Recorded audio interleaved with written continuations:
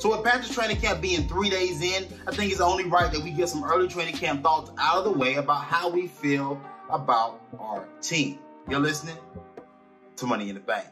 So let's not waste any time, man. The elephant in the room is Baker Mayfield versus Sam Darnold and how Matt Corral looks as well in this quarterback battle. And right now, look, there's no pads on. There's no pads on. There's going to be mistakes made by a lot of guys. One thing I will say is that the, the highlight pack of Baker Mayfield and, and DJ Moore definitely has me excited. You know, we, we talked about it on the podcast about is Baker going to be the quarterback that helps DJ Moore move into that top 10 status?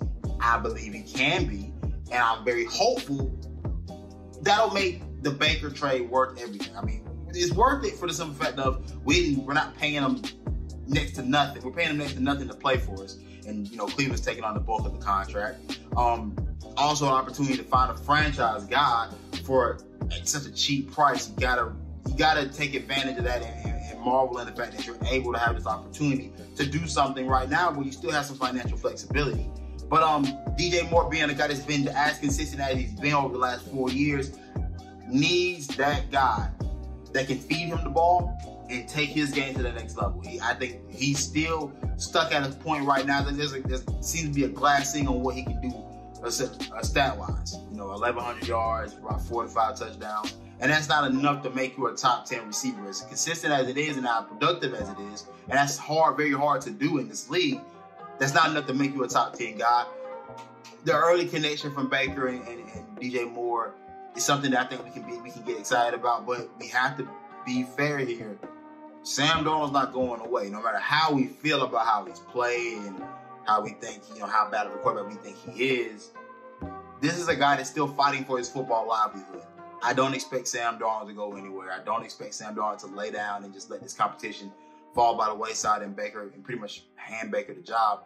He's gonna be a guy fighting for honestly the next roster spot. You know what I'm saying? Like I mean, mind you, these tra- these training camps and when you're practicing all these things, bro, understand there's an audition, but it's not only an audition for that team, it's an audition for the other 31 franchises that are in this league that are gonna be looking for quarterbacks. Look, man, we you know, there's no telling what happens by mid-season if quarterback injuries start to uh, start to accrue for a lot of teams. Are they looking for a guy that can come in and play right away? Are they looking for a guy that's had that's, that has NFL experience? Are they willing to make a move for a guy like Sam Darnold that maybe show some improvement? Who knows? This is a very this this competition is very it's in its infant stages, and Matt Rhule said it yesterday.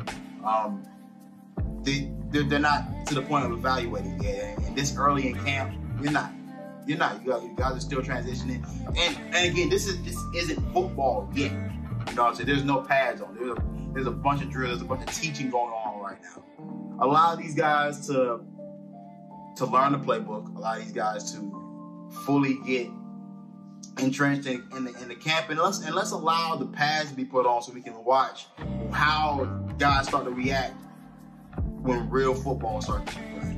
And following up on that real football note, I mean, the other thing is, you know, uh, we won't know much about the guys on the, on the front lines until the pads come out, come out as well. Um, haven't heard anything, haven't really heard much about Ickey and, and all the other guys, but what's there to hear right now at this point in camp? I know we're excited, we're very excited, but I will say this though, um, something that's been kind of sticking in my craw here lately. It's like, I will say I'm not going to heap a whole lot of expectations on Ickey Ekwonu this early.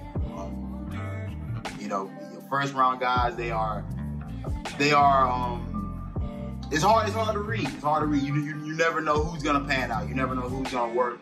Um, I think if we see early struggles from Ickey, I think we all need to be aware that this guy's transitioned into this game as well. And so, no matter how physically imposing we think a guy is, or how talented we think he is, we do have to be aware that these guys are still learning the game very much so. And this is a part of the process. So if it doesn't look great, I don't think we should overreact. But with that being the case, I mean, we don't really know any, much of anything. And I, I think the other part to this is, you know, seeing how that linebacker group come together.